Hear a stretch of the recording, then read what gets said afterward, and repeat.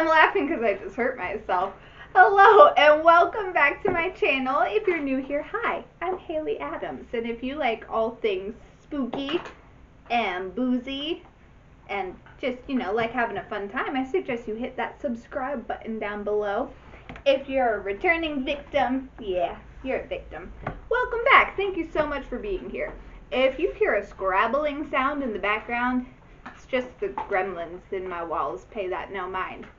But we are back for another episode of Horror Hooch. Hooray! Woohoo! Hell yeah! The gremlins have calmed down for now. Oh no, the gremlins might be starting back up again. It's fine. Today we are making a Halloween themed drink.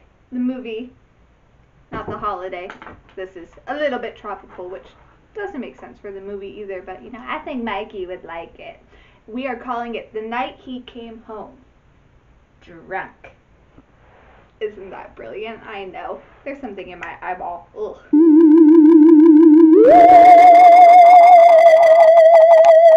So what you're going to do is you're going to take a rocks glass, fill it with ice or whatever glass, you know. I don't care. You guys should know that by now. And we're going to take some pineapple juice. Mine's from Trader Joe's because I think that's the better pineapple juice. in Anyway.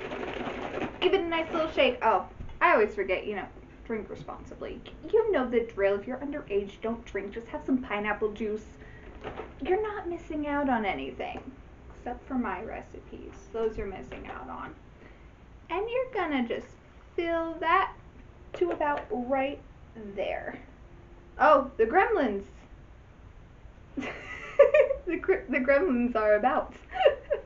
Next thing you're going to do just take some simple syrup, and because this baby is strong, you're just gonna just the tiniest little squirt, just like two drops, so it's not too too tart.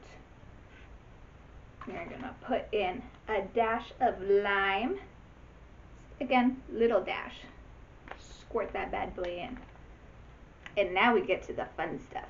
Wondering why this is already out haphazardly. I realized I eh, had never actually dr- drunk straight Malibu, so I tried it. It's good. Tastes like sunscreen, you know. So if you're into that, so take your Malibu or any coconut flavored rum. I'm sure other brands make coconut rum besides Malibu. And you are gonna get a shot glass. And you're gonna fill that bad boy up. And you're gonna dump it in. Dump it right on in there. I like to keep it simple for you guys. To keep it nice and simple here. And then you're gonna stir it. Beautiful.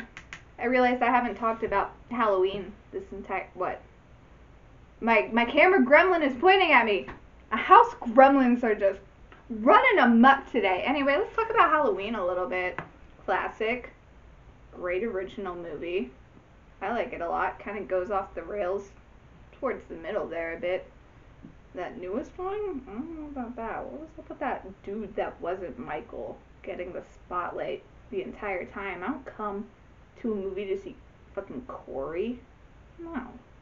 I come to see this guy. This guy right here. I would give him a smooch, but he's special. He's signed by one of the stuntmen that's played Michael, so I don't want to get lipstick on him. He just to sit there nicely. Anyway, what are your thoughts on the third Halloween movie? Because I know people are very divided on Season of the Witch. I don't like that there's no Michael in it, but it is a good movie. Anyway, back to the drink here. Last thing we're gonna do is we are gonna top her off. I love that that spicy little that the thing does. Top it off with club soda just to give it a bit of a punch.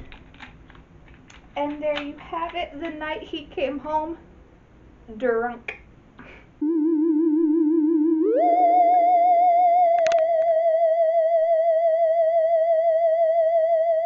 the gremlins. They're taking over. Say hi, Gomez. He's giving my drink a 10 out of 10. And now it's full of fur. It's okay. I'm the one drinking it. It's fine. He's just, he's like Godzilla over here.